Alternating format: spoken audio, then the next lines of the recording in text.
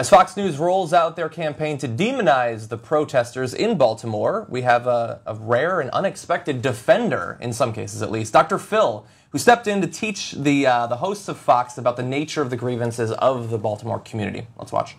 And we keep saying, where's the character? Where are the parents? Where's the opportunity? Where are the role models? How long are we going to keep saying, where are they? And what can be done to change this? Because those kids have the same potential as your kids and our kids. Well, I, am not sure that's true. I'm not sure they, they may have the same potential, but I'm not sure they have the same opportunities Opportunity. because the, the the, fact is the school system is not necessarily the same. The it's resources not. is not are not necessarily the same. The leadership that they have from the parents because of the generational uh, pass throughs are not the same. There's no question that they have a steep hill and a tough row to hoe.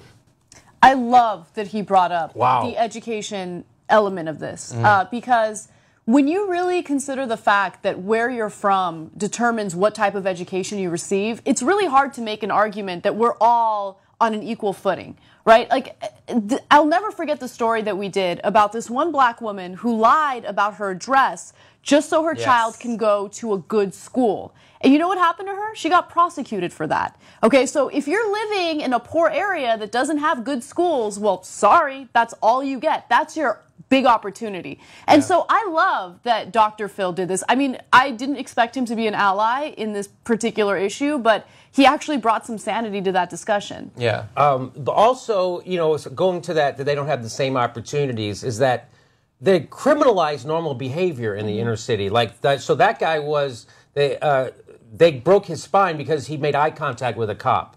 Now, I've never been chased because I made eye contact with a cop. I don't think you have. I know. Right? So, because we're white. And uh, so that, so, or the, the story we reported last week here about the cops showed up uh, to an argument at a gas station. The, gas, the argument was over. The guy had baggy pants. So they arrested him for baggy pants. So this is criminalizing behavior. So that doesn't happen to Brian Kilmeade's kid or right. Steve Doocy. His no. kids aren't overly pro- uh, policed like that. Yeah. They don't take. They're not going to not be able to get into a college loan because they got caught with a joint. That's not going to happen. They're not going to be criminalized. They're not going to have a felony on their conviction on their record for the rest of their life. That doesn't happen. Yeah. So is it dip? Go ahead. I, I just want to ask a question, and I'm completely ignorant on this, so please let me know. So the big issue was that they found a switchblade on him on so, Freddie Gray. Mm. So is it illegal to have a switchblade? Well, then I guess we should arrest all the Boy Scouts. Yeah. I just don't understand I, I don't why about, that's. I don't know about Baltimore specifically. I think generally knives are okay. Switchblades, there's particular laws against. But I would again say that that's probably has I don't know to do. I mean, it's amazing that we want to arm every individual in this country, regardless right. of mental no, illness or regardless okay. of whether or not they're on a freaking terrorist watch list, right? Only but we, guns, Anna. But we break someone's spine if they have the audacity to have a switchblade. Really? He, I mean, I just, I, I, sh- I, should look into the laws in Baltimore about switchblades. I guarantee you that if I'm walking through the streets of Baltimore with a switchblade, no one's going to give me a hard time about it. Yeah, and uh, I'm glad that Dr. Phil brought up the uh, the generational pass-throughs. I'm sure that that's not a phrase that's going to be heard very often in on Fox, of course. That's a great way to put that, generational pass-throughs, right? Yeah. So he's talking about generational problems with poverty, right, that were created because of institutional racism. Yeah. And if you want to talk about blacks rioting, we, you, I saw you did a segment segment earlier about uh, all the whites that riot when their sports team wins, yeah. which I think that's why they canceled the Baltimore Orioles game because if they win, the fucking whites were going to go crazy. But the, but but you know there used to be uh, after the World War One Black communities were thriving in America. In fact, in Tulsa, Oklahoma, there was a community called Greenwood, which they used to call the Black Wall Street. And they had things in their community that the whites didn't have. They had indoor plumbing, whites didn't have it yet. They had, and they would keep the money circulating in their own community to where a dollar got spent a hundred times before it left their community. Mm. Well, the whites got sick of that shit. and they burned down their fucking 35 square blocks. Uh, they they burned it down. Uh, 300 people died in 1922.